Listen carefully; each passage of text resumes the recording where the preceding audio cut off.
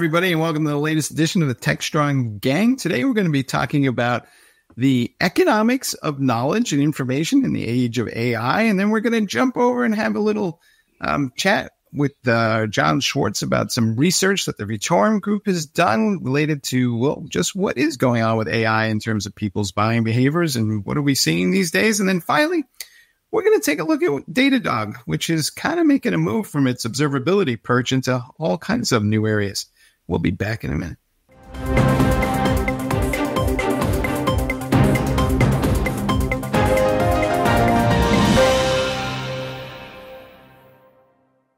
All right, everybody, welcome back. I'm coming to you today from Dobbs Ferry, New York, and then we have the rest of the gang for today. It's Mitch Ashley, who's in his usual Colorado location, correct?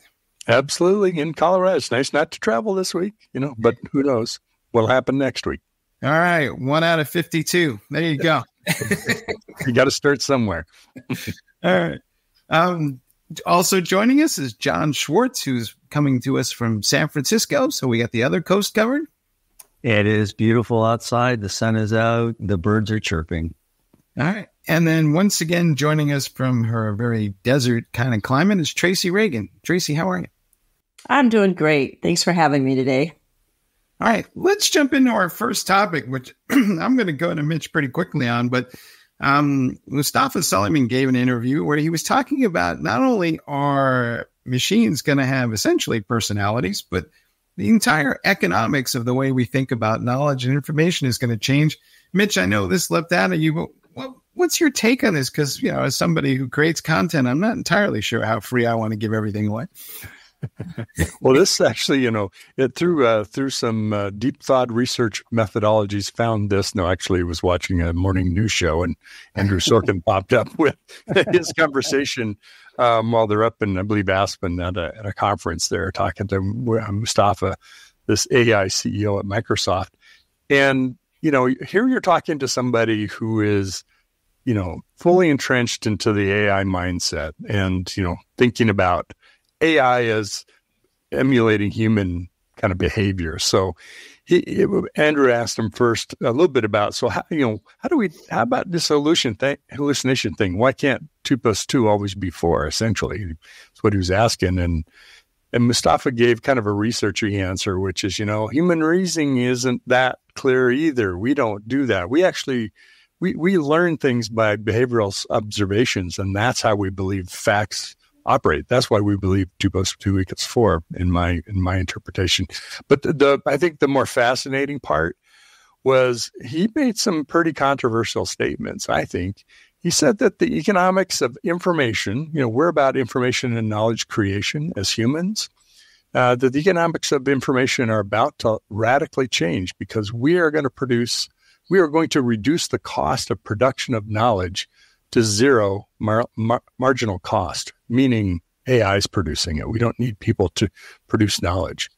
Uh, and in 15 years, you know, that's when he's thinking that 10 to 15 years that new knowledge will be created with AI, essentially without humans. He's, uh, that's the way I interpret when he says zero marginal cost. It doesn't take us to help it, help AI, Copilot to create uh, knowledge. And so, to your point about, I don't know if I want to turn that over to AI, the work that I do. So, it's well, what does that mean for society? And he didn't really say, but if that was really true, if it was universally true, I mean, you're talking about humongous disruption to what people's jobs are. You do a lot of this pie in the sky kind of babble at times where you refer Mitch to these new engines to turbocharge discovery and invention. It was all kind of Big Brotherish to me, at least a little bit. Um, maybe he was elusive. You know, the one thing I find interesting about this guy is um, he's going to work with Sam Altman in some capacity, right? Yeah. And before Sam Altman, he was the Altman of AI. Um, he has spent most of his time competing with OpenAI, which is interesting now that he's on the same team. I mean, he was DeepMind and then he left Google under kind of bad circumstances. Then he started uh, Inflection AI. And then the only reason, I mean, the main reason he went to Microsoft is because Satya Nadella, the CEO, tried to lure Altman, and we know about that whole drama. Mm. And he ended up hiring Suleyman in the process. So there's this this interesting dynamic that's going on, and um, it be, it'll it'll be fascinating to see how it plays out. I scratch my. We're, we're we're in the hype cycle, guys. We really are. This is the hype cycle of AI. Um, and if you're not, if you're the, you know, the chief officer for AI for Microsoft, you got to be out there talking about it like this. But it's, uh, you know, it, we every time we go through a new technology shift, and this is a big one, we have a period of time where there's a lot of hype around it, a lot of investment, a lot of kind of just silliness, to be quite honest.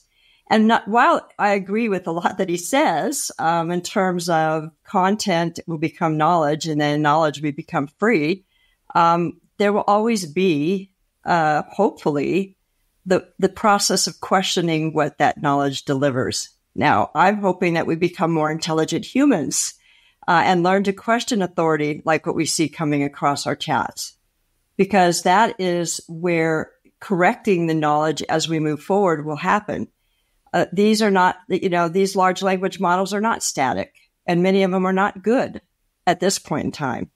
And to be quite honest, right now in the US, we can't even buy a car. a cyber hack on the car dealerships brought down the dealerships across the, the United States and probably in other places, and they had a cybersecurity uh, function to it. So maybe we need to start thinking about securing our software before we start thinking about AI. So I feel like we have the cart uh, before the horse in some way. And this is a lot of hype and is taking um, our eyes off the ball. was kind of founded with this premise of doing AI safety research. So we won't have a one day evil AI that destroys mankind. So it'll be it's interesting just to see, to see where this leads. And also, you're, you're right, Tracy. I mean, in the next segment, we're going to probably, t- I'll, I'll bring up this confusion and hype which is leading to this piecemeal approach to the way enterprises are building their AI solutions or rushing to build them. There's a lot of trial and error. All right, guys, wait a minute. Last time I counted, there were 50 plus lawsuits talking about who owns what content and who should be paid for what. And there seems to be one being filed every other day now. It's not a foregone conclusion that uh, data and knowledge is going to be for free. And there's tons of companies that collect data, create data, including Futurum, that aren't going to just give away data for free. I mean, you may have one time access to it, but you're not going to get perennial access to it. Um, I feel like, you know, this uh, pie in the sky little conversation that they're trying to have has uh, not any basis in copyright law or reality. And frankly, if they wanted to take all the content that we constantly publish and we put it in front of a, fire, a firewall right now, and then they're going to say that that's fair use. I promise you, all that content's going behind a firewall. Mm-hmm. Yeah, I think also the other thing they're forgetting is capitalism. It, it sounded like a description of uh, Star Trek Next Generation. You know, there's there's no money. There's no, you know, there there's. I don't even know if they go to the bathroom on the Star Trek Enterprise. Right in the future, they don't seem to. But um, he was talking about a world where knowledge is free and accessible to everybody. That that's a utopia. He almost I, just I was just about to say that he sounds like a chief utopian officer, let alone the CAIO, right? Yeah. So and, and he's talking like a futurist, not like um, an evangelist. If I want to put it, there's a way. huge there is a huge goal for disconnect there, right? I mean, I, I my takeaway from that interview was okay, in theory, this all sounds really interesting. It sounds like something Isaac Asimov, I'm not stating myself, would, would write about, but practically in the real world, and as Mike referenced, with all these lawsuits over content, how does that work? And you know, they they're probably trying to figure it out themselves. And meanwhile, series. yeah, and, and meanwhile, to make the thing actually work, we have to expose um, we have to customize those things with our own data that kind of show that the model or let it continue to learn. Um, nobody's going to check the box that says, yes, by all means, I'm going to let you take the data I just exposed to your LLM and shove it in your LLM to train your future LLMs. Everybody's going to go, nope, sorry, thank you for the use of your LLMs, but I'll keep my data. Thank you. So it's all about who created it, right? Who's managing it? Who owns it? What is, you know, so it's, the, the knowledge is, is definitely going to be siloed. If that is the, the future, and we're creating knowledge and not content that we can, you know, get information from, but actually opinions, which is more what I get, would see as knowledge, not just decipher some content for me and, and produce it, but actually make an opinion or discover something, for heaven's sakes. I don't see that happening. And if it does, it's going to be siloed because that, that knowledge is going to have a cost. That's that it's going to have value. Yeah, I heard an interesting analogy that uh, information or data is, uh, for example, tomato is a fruit. Knowledge is knowing that you don't put tomatoes in a fruit salad. So that you know, it's at least it's sort of like you know, the, okay, let's put it in context and how do you use it? To your point, Tracy. Yes. I just think as we look at all this stuff, uh, unless Microsoft and Google and all these people are going to start paying people to produce content, the math just doesn't exist for anybody. I mean, who's going to go out and create content and do the data or be a researcher in some space? And who's going to pay these people? They got to eat. They got families. They got to live. It's, you know, exactly. we're not going to give them all universal basic income and then tell them to go be researchers. It's, That's why it's described as, as Star Trek. Like nobody needs a salary. We all have everything we need. Right. it's too silly. Jon, you're out there in the valley, and I, at the risk of denigrating the valley, but it seems like a lot of this kind of pie in the sky AI stuff is emanating from a particular region of this country. Um, why is that? Okay. well, that's what it has. History is repeating itself. Maybe I'll put it that way, right? It started. I mean, every cycle, there's a lot of hype. The money comes from Europe predominantly, so we have a lot of VCs, and I'm not going to point my finger at them, but we have a lot of idea leaders who throw these concepts and ideas out to to gain as much interest and hype as Tracy alluded to, and create interest in something. And then we'll, we'll is a classic example to me in a certain way. Let's let's just we'll we'll figure out on the way. You know, we, things will break. We'll we'll eventually get there. So what I think what we saw from Suleyman was basically the beginning of the hype cycle he's trying to conceptualize and put it in a framework. I'm sure that what he said both probably intrigued and terrified people who watched it. I mean, it's the CNBC audience, so they're going to be more, they're going to embrace it. But for the general public, this plays into the fear. And the ir- irony for all of you is out here in the Valley, tech is incredibly unpopular as an industry. Uh, it, it's we can go we can do a separate episode on that or a segment on that. But there are so many things that come out of this idea factory that we that only a few profit from and in a sense we're at the at the mercy of their decisions. And a lot of the things you're talking about the content content absorption creation it's going to be completely disrupted based on lawsuits and based on the fact that we don't have any clear understanding of where this is headed. So in a sense in a roundabout way what i'm saying is this area d- is guilty as much as any for the hype in tech. And it also has fostered this distrust, especially among the people who live here. So we have the vast majority of people who don't believe or trust tech and don't understand it versus the, the very few who are profiting from it who are telling us, just trust us. That's an irony. You know, there's another uh, interesting, uh, uh, Andrew Sorkin at the end of that segment um, he said something else unrelated to Microsoft. He said that Apple yes. announced that they're delaying their plans to release AI features AI right features in Europe, in the EU right. market because they're concerned about the Digital Markets Act and uh, the EU's attempt to crack down on anti-competitive behavior. At least, you know, that's how that could be interpreted. So yes. there's another haves and haves not. Your your regulatory environment could uh, actually prevent you from getting your hands on some really great technology. There was a there was a web summit, Mitch. I think it was about uh, two years ago, and the, Apple had a keynote speaker there, and his entire speech was based on taking on the DMA or Direct Marketing Act, mm-hmm. which which went into effect this year.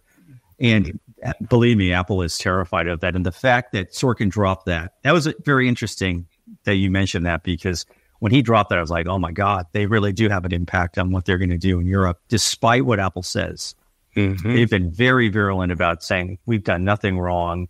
They almost sound like a presidential candidate. We've done nothing wrong, but we'll abide by the rules. Can I just call out one other thing about this interview that is completely bonky? So he's saying that the machine is going to be as kind of trustworthy as a human, right? And you're going to judge its validity as you would a human. Well, okay, fine. I, when I deal with humans, I deal with Jon, I deal with you guys, and, you know, I come to trust you because I know you and I can identify you. How the frig am I going to identify an LLM that I trust versus one I don't trust when it's all behind some sort of user interface that's just swapping stuff in and out? And I won't know which one of these things is reliable or isn't reliable. So that part of the conversation about unless they're going to start naming individual LLMs and telling me what their personalities are, that's never going to happen either. Well, that's what I was meaning. It's going to be siloed data, right? We're all going to choose the LLM that fits our, our narrative the best. Mm-hmm. Right. And, and that we that we trust. those of so you who watched the debate last week, we know how that works out. yeah. you know, I, th- I, think it's I think it's packaging the three P's for marketing, but um, you know, we all we all live in app- bubbles. We all live in bubbles and silos as it is anyway. So what Tracy said just stand to reason. Sorry to sorry, Mitch. No, no, no problem. I'm, I'm just thinking, you know, if it's packaged as an avatar, that is looks favorable, behaves favorably. If you if you believe his behavioral learning, behavioral observations is how we really understand the the world. You know, it's not just a, a command line to type in a natural language query. It's could be a physical robot, could be an avatar, could be other ways. You know, we can package things in that are in less threatening or maybe more trustful um, modes you know, what if your AI companion was a dog? I love dogs, right? And I build relationships with dogs and I can trust them somewhat, you know, but I know they're going to get in trouble, but not too much. So I, that, oh, I, I, think that's part of it too. I have to admit, I would love to have a robot like on the, the, the last Lost in Space. a danger I want that robot. the old, the old Lost in Space or the new one? The new one. The I new one. Robot okay. from the new one. He was pretty cool. Wouldn't that be nice to have cool. a robot like that to pick up heavy bags? You, know, you could get, you could have the the robotic dog like a boy and his dog with the uh, Harlan Ellison story with Don Johnson. That's a long time ago. Mm-hmm. All right, I think I think we're going to have to bring this chat to a close. But I would just remind everybody that if you're like me, I have friends. I love them all, but I don't trust them all. That's for sure. you know better. all right, folks. We'll be back in a minute.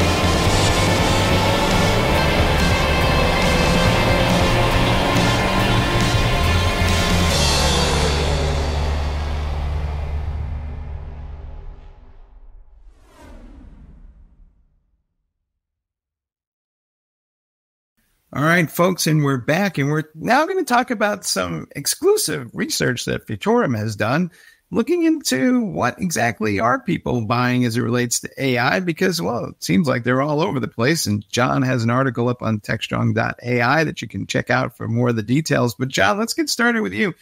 What surprised you in this report?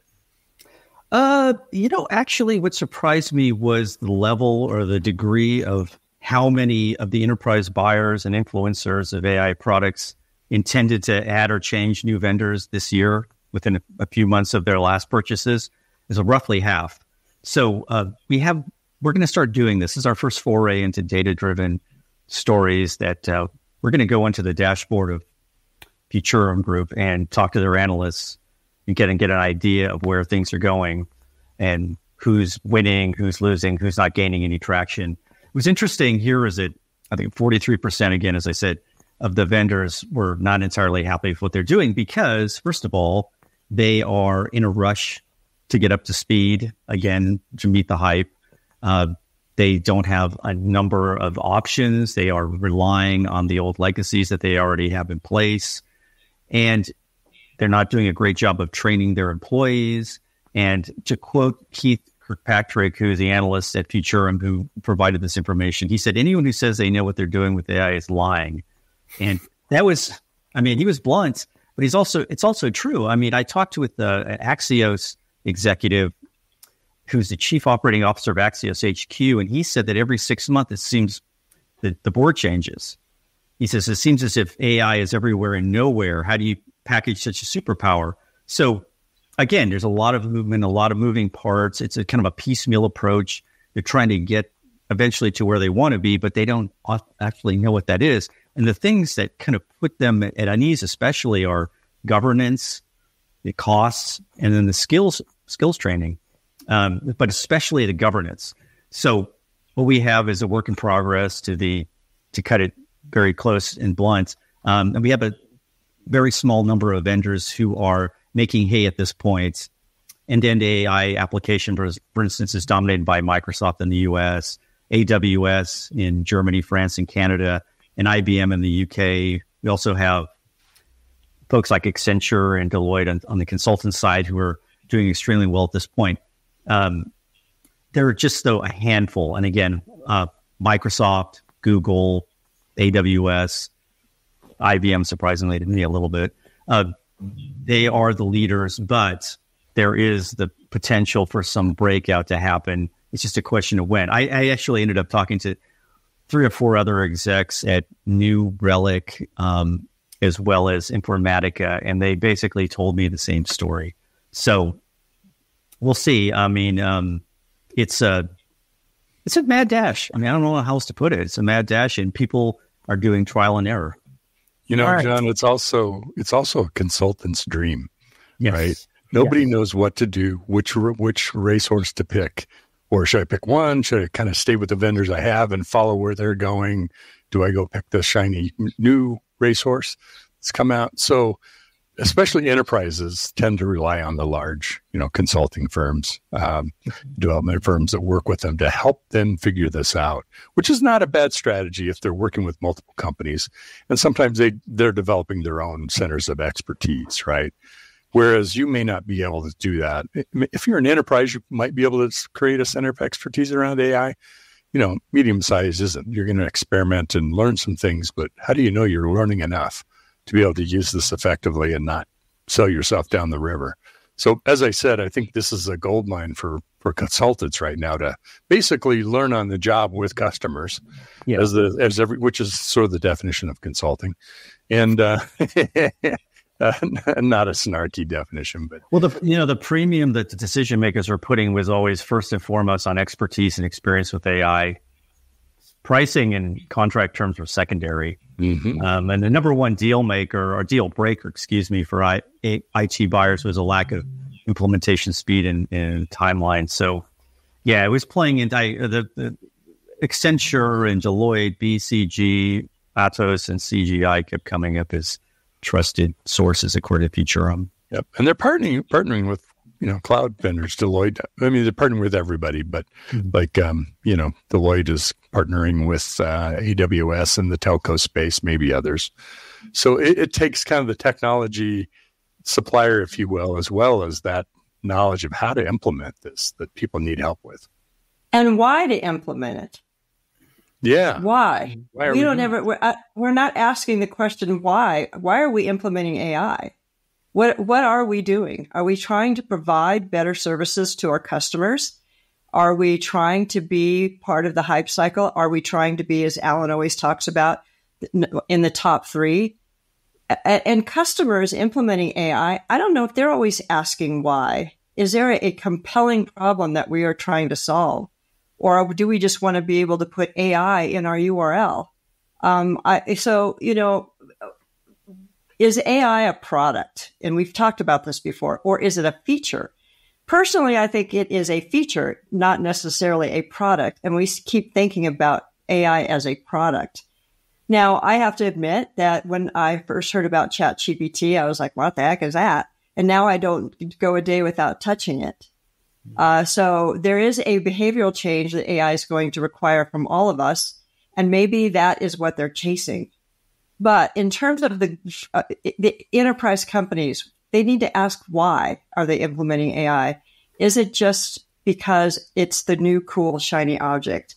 And if it is, they're doing it for the wrong reason and they're going to be unhappy. And you nailed it because one of the things that the large consulting companies, Accentures, Deloitte's, they bring the industry knowledge, the the domain knowledge of pharmaceuticals or banking or telecommunications.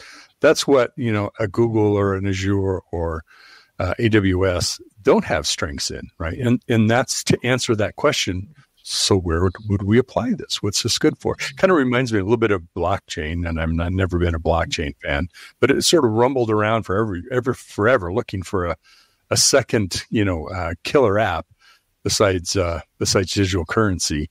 I, you know, think I don't think AI is going to suffer from that, but that's part of what people are getting together to say. Let's look at the domain, the work that happens in these industries, and where potentially can AI help and where can we where do we start first to really kind of get our legs under us? And why exactly. Not every app needs nfts mm-hmm.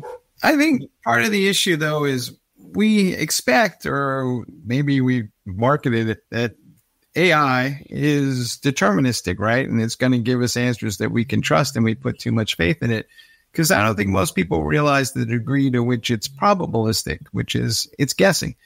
And if I put that in a workflow that's got to be right 100% of the time, then I'm probably going to be unhappy at some point. So the other question then becomes um, do the people who are operationalizing AI and the latest flavors of Gen AI understand when to use what type of model and for what use cases? And you know, or, or are we over promising and going to massively underdeliver as far as they're concerned? You know, Tracy, it's really interesting what you said. Uh, one of the guys I talked to is basically blatantly honest. Said the two questions I have about our whole process or our whole plan is how and why. Why are we doing it? How do we do it? Well, so Mitch, as you kind of look at all this stuff, you know, what's your best advice for folks about how to kind of go down this path? Because I think there's a tendency right now where uh, the board is saying, "What are we doing about AI?" And somebody stands up and says, "Oh yeah, we've got these proof of concepts," but then nothing seems to move forward because nobody thought through the actual use case.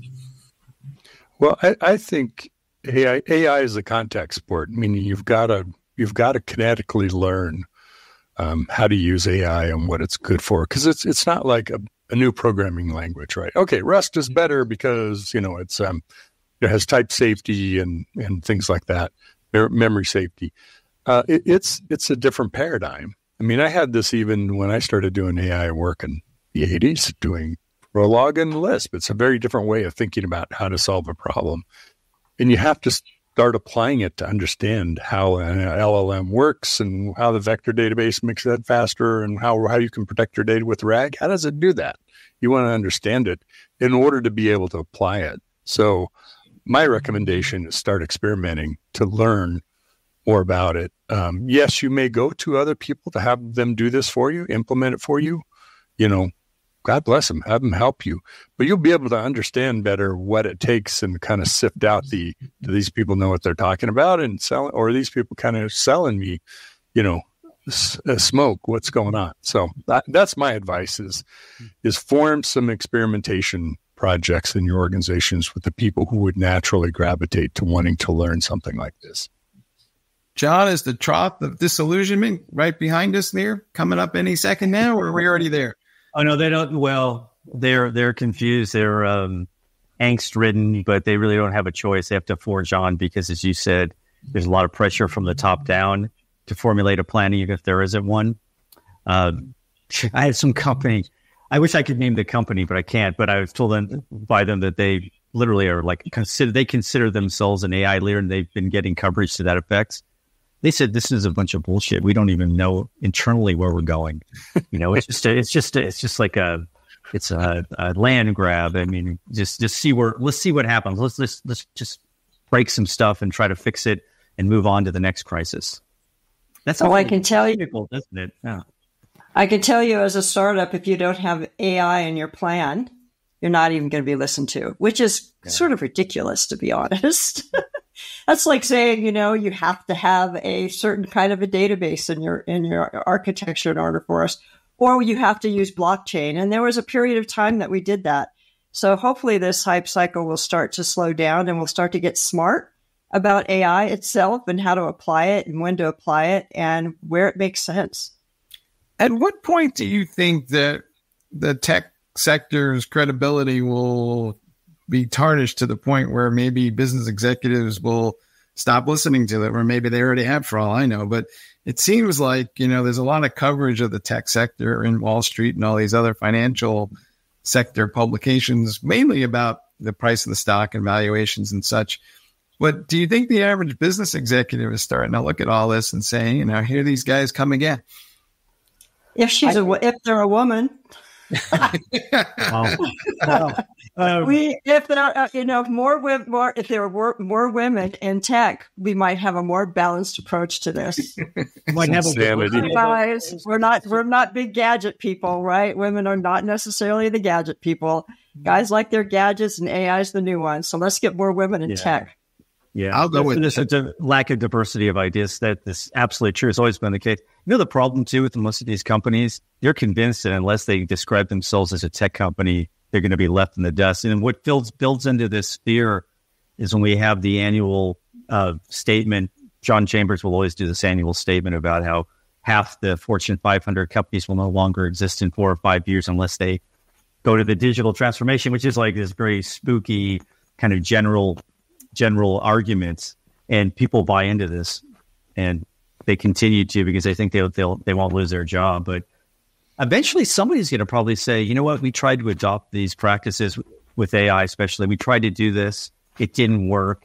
We'll do Plan B instead. Somebody may there's going to be a story eventually about some company that's going to take the contrarian view because there always will be. There'll always be a maverick okay, or, a, an outlier. It's the pendulum swinging back, right? Mm-hmm. It is definitely customers who drive business, and customers don't necessarily buy technology. Investors buy technology that are delivering services to customers, paying customers, hopefully. So, you know, c- capitalism isn't driven by the new technology. And sometimes I get frustrated with the folks in the San Francisco area because they're so technology focused. And right now it's all about AI for, and oftentimes for no good reason. Right. But you well, I, yeah. I, well, I think the reason why the, there's an obsession here, especially, is because we went through this down patch of all sorts of downsizing after too much hiring. So now they're they're grasping or looking for something to to to kind of change the narrative, and it has changed the narrative. But I also think this is more about addressing markets and about addressing fear and uncertainty among among the industry here locally.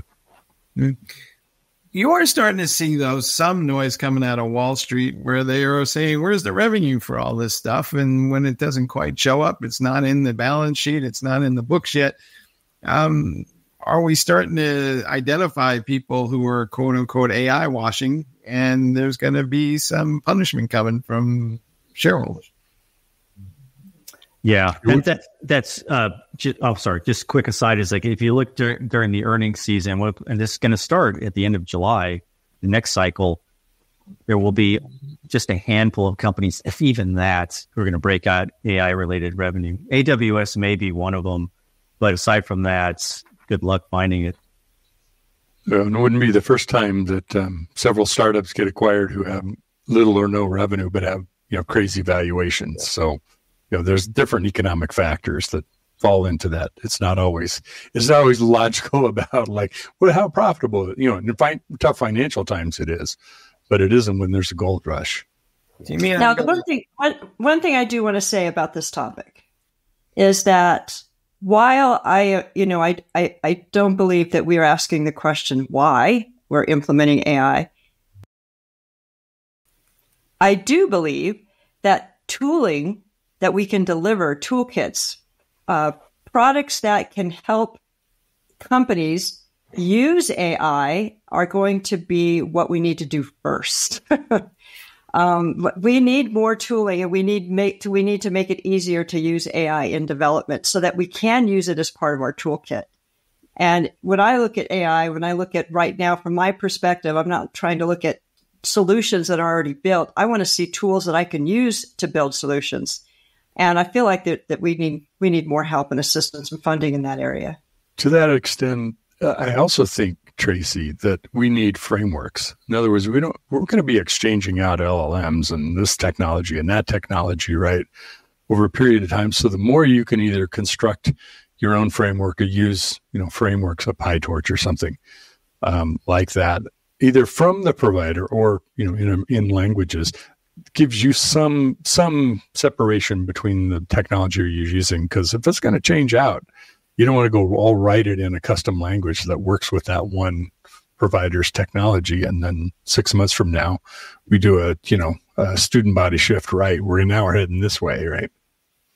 All right well i think we're coming to the end of this conversation but i really like that. I think we need more tooling and we need more frameworks and hopefully less hallucination from both the machines and the people all right we'll be back in a minute i'm bonnie schneider sustainability contributor to the techstrong group I'm excited to introduce you to a groundbreaking new initiative from TechStrong Research, the Sustainability Pulse Meter. The Pulse Meter offers valuable insights into how environmental responsibility factors into tech purchasing decisions for key players in the industry. Position your company as a leader in the industry and differentiate from your competitors with the Sustainability Pulse Meter, offered exclusively from TechStrong Research. All right, folks, and we're back with our final segment, and we're talking about Datadog, which uh, last week had its big Dash conference here in New York, and it was really interesting to attend because Datadog is evolving into something completely beyond just being a monitoring company, or then they became an observability company, but now they're talking about including incident management capabilities. They can look for vulnerabilities. They can now interact with LLMs to tell you whether or not they're toxic. And it just seems to me like they're evolving kind of into a, another type of platform engineering company. And I wonder, Mitch, your thoughts here, but it seems like everybody who's coming from different vectors to try to become the platform, or at least one of the last standing platforms in this space of what we were going to call platform engineering. Are we, is everything consolidating or is it just my imagination? Uh, I think I think you're spot on, and you use the the magic word today, platform. Um, so uh, th- that's definitely part of it. I think it's a recognition of, you know, think about a monitoring tool. You know, we were used to just buy a monitoring tool, and then we did whatever outside of that monitoring tool, and, and now we need that information to follow the workflow, to be part of that process. And whether you're now managing LLMs and monitoring those with, with Datadog or you're using them as part of their technology um, and, and, understand what's happening there, it, it's trying to put it together, all this information together and make it understandable. But even more importantly, it's got to fit into some kind of a workflow. And oftentimes it's multiple disciplines across different teams, security, operations, development, whatever it might be. Uh, the one I kind of scratched my head on was uh, that they added a Kubernetes auto scaling capability, mm-hmm. um, which is like, okay, um, I need to look at that a little bit more. I didn't realize that they were doing some things there. So I think it's trying to become a more, a more well rounded platform to their customers and not have to be sort of the old, like you fit into this silo of a tool and you fit into this silo of a tool. And that's what, that's what everybody's working on doing. Mm-hmm. I asked him about the Kubernetes thing just for your edification. And I said, you know, last time I checked, Kubernetes is supposed to scale up and down on its own, sort of. I mean, you just have that capability. And they kind of smiled and said, yeah, but nobody knows how to make it work. So here we are. Uh, okay. this is the working version. Did you ask them anything about what they say about DevSecOps workflows, streamlining DevSecOps workflows? You know, I didn't, I really couldn't find a whole lot about that, but that's an area I find very interesting. So here's their position on it. They believe that DevOps, ITSM, SecOps is all going to converge into one kind of Uber workflow. And you can get there from any path you want using Datadog as your kind of foundational console. But they're betting that eventually that all these processes finally become unified and all these silos start to become, shall we say, uh, less isolated. So, Mitch, I don't know what your thoughts are, but um, can we get to this glorified, unified IBM vision of 20, 30 years ago for making all everything manageable from one console? Well, if I check the uh, the star log, stardate twenty seven forty two is about when we'll achieve that. How many uh, Star Trek references have there been in this show? It's it's a Star Trek day. I'm sorry. Okay. Um, you know, you know what, what, I what the way I think it's evolving, the way I see it evolving, because you can see it. Uh, people using these tools and the vendors is there is no uniform way people do this. There's, for example, DevOps, right? Is DevOps part of the platform engineering team now? Is it a separate thing? Um, is all if security part of the the platforms part of platform engineering? Is ITSM part of that as well? People configure these uh, these functions, these roles, um, to, to, what, to what fits best in their organization. Maybe they have a strength in the area. Let's add this to that. Um, maybe we have silos and we can't break them down. So is, is, it all going to one unified theory? You know, kind of the beginning of the Big Bang. Mm-hmm. I doubt that. I think more you flip it the other way is Datadog could work in flexibly in any way with how the customer has configured those operations in their organization.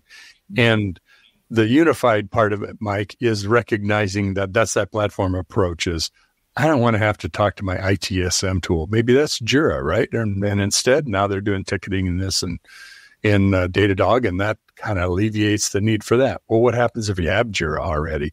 You're going to want to integrate this in too. So it's never that clean. Even a greenfield, you may start out that way, but it, it tends not to last.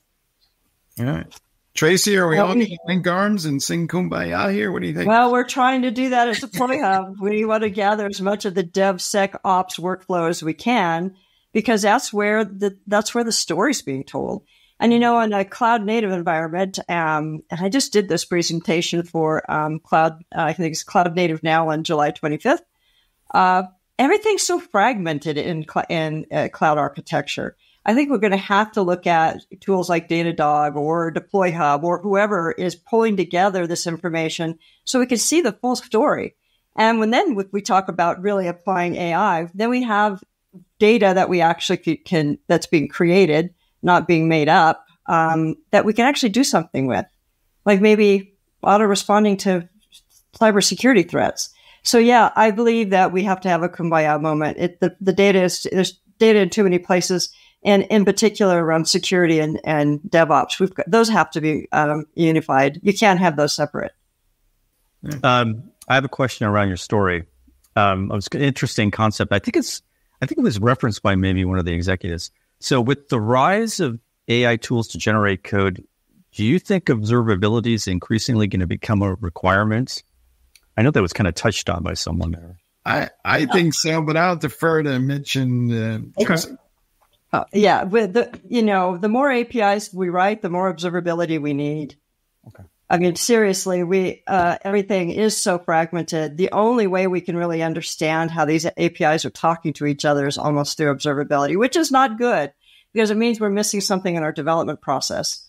Um, but but yeah, the more that we do, we break down and we decouple these monoliths into into smaller components and APIs. The more we need observability to understand what's happening. Is hmm. one particular API being, you know, slammed? Is there a, a threat because somebody's trying to get into it? We got to be able to see that stuff, and uh, it can be done. You know, observability is the only way you can do it. You have to have one of those tools in today's world. You know, to add to that, Tracy, is there's using observability tools right in your software. Um, there's also designing your software so it emits better information, more usable information by observability tools, and I think that's where we'll see more of an emphasis, right? So you're you're not trying to play detective combing through that data or have it do that for you and, and find out I don't have that information. I don't know what was actually causing that, you know, that spike in performance or whatever it might be. So I think I think observability in development means observability in software that we're creating, designed for operating in an observability environment. I don't know, Tracy, do you agree with that? Do you think that makes sense? 100 percent, hundred percent. We recently did a discussion on API first and really understanding what APIs you're building uh, to minimize the sprawl of APIs will be helpful in that in solving that problem. Here's the paradox when I talk to people, and you know I'm a simple guy, so I kind of go down to the brass tacks a lot. Um, I was explaining observability to them, and they were like, because they understood monitoring and a set of predefined metrics, and you kind of follow those along and kind of hope that things stay up. But when I was explaining observability to them, they were like, well, I was like, well, you can collect all these logs and metrics and traces, and then you can launch queries to pinpoint issues before they become a problem. Or you can, you know, at least troubleshoot your thing better. And they were like, well, that all sounds great. And then they thought about it for about five seconds and they said, I have no idea what questions to ask. And so the question I have then is, you know, if I don't have the expertise to go use the tool, what's the point of the tool? And some folks are now telling me that, well, actually, the machine learning algorithms are going to ask the questions going forward. And so now I'm using AI to manage the AI. I mean, how is this going to evolve? Yeah, well, that's the whole point of threat models, right? We have to have better we have to have better threat models and we have to automate threat models and we have to improve threat models and the threat models have to ask the question. And right now we're building the threat models and maybe we don't have the knowledge to do that. So yes, this would be a, a an amazing application of AI. it definitely would, and I think if for folks that have used an observability tool, kind of visually, if you think about it as here's where there's an issue, right? What part of the system, whatever that is, at a macro level or a microservice or a Kubernetes cluster, whatever it is. And it, it's connecting the dots of other things that are happening around it. So it isn't always writing queries. You could write an actual language query and say, here, uh, show me this. I'm looking for this or find where this is. But a lot of it is visual to say, okay, well, this is where, this is where we're pinpointing the start of the issue but it's the tentacles, it's the branches of, well, then these other things are happening. This API is really slow from this third party service. That's causing this to back up. And you're getting that all from the telemetry information from those different systems and pulling it together in one way you can, you can kind of work through and understand how it looks, which sets you up very well for machine learning algorithms.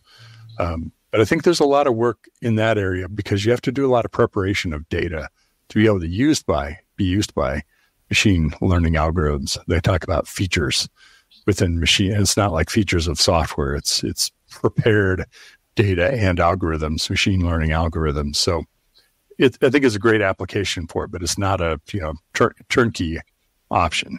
Well, here's the thing I hear from all the observability vendors, and they all say the same thing. They're getting beat up by customers who are like, it's nice that you gave me a dashboard to tell shows me that I have a problem, but I really want you to fix the problem. And just standing around telling me that there's a problem isn't quite as helpful as fixing it. And I think that's part of this move to platform engineering is the customers are driving it and saying, you know, you just can't be a, a tool for surfacing up pretty pictures of my mess.